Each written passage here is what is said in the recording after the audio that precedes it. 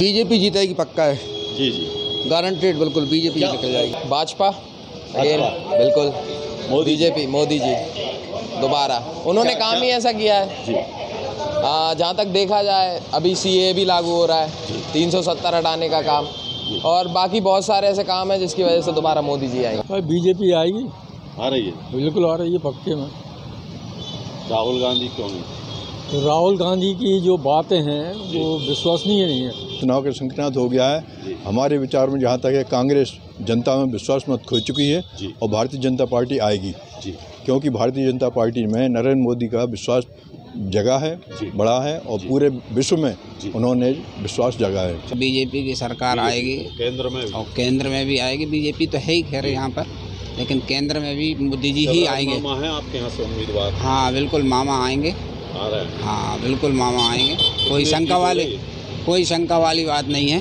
केंद्र में तो मोदी सरकार आई। आ रही है। हाँ मोदी सरकार उनके दो काम हमें बहुत पसंद है। चल रही है। एक तो राम मंदिर उनने निर्माण कराया दूसरे सीए।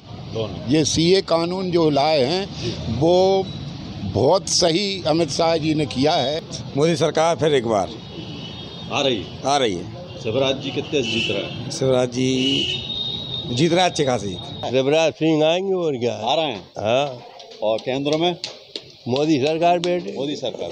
क्या क्या मुद्दे क्या रहने वाले हैं? काम अच्छे कर रहे हैं और क्या? शिवराज सिंह जी जीतेंगे और क्या? जीत रहे हैं? हाँ केंद्र में मोदी सरकार। कांग्रेस तो खत्म है। खत्म हो गई। हाँ। क्या वजह क्या है? वजह क्या है? कोई नेता ही नहीं है उन पे ढंग का। वही शिवराज सिंह जीतेंगे अपने यहाँ से विदिशा हैं। पक्की है वो तो। कोई भी खड़ा हो जाए कोई नहीं हरा सकता। मोदी आएगा। मामा मामा आ रहा हाँ। मामा आ रहे हैं हमारे।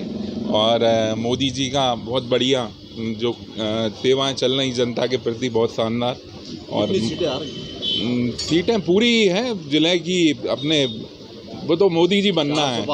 मोदी सरकार। मोदी सरकार। Hundred percent. किन मुद्दों पर होगी बात? सभी हैं साहब। देखो राम मंदिर है सबसे बड़ी चीज़ तो। जो। दिया है वो कोई नहीं तीन सौ सत्तर है सी है। और बाकी बहुत विकास हो ही रहा मामा भी आ रहा है हंड्रेड परसेंट चार सौ पार हो रही है। मोदी जी आने वाले मोदी जी। बस सबकी मांग। आप यहाँ से खड़े आएँगे शिवराज जी।